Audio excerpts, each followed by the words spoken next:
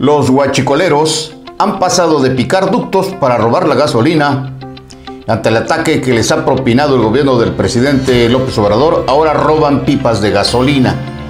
Esto está sucediendo aquí en Chiapas.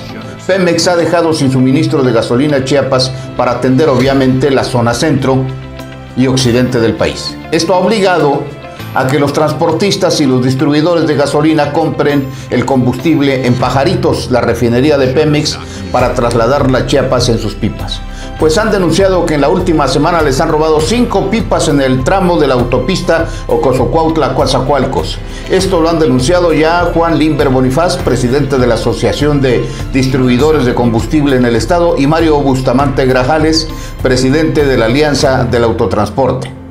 Ante esto, pues le han pedido al gobernador Rutilio Escandón y al general Juan Ernesto Bernal Reyes, comandante de la séptima zona militar, a que los apoye con la vigilancia en la autopista. Estos robos han ocasionado grandes pérdidas económicas a estos gremios, ya que las empresas de carga no se hacen responsables del seguro del transporte del combustible.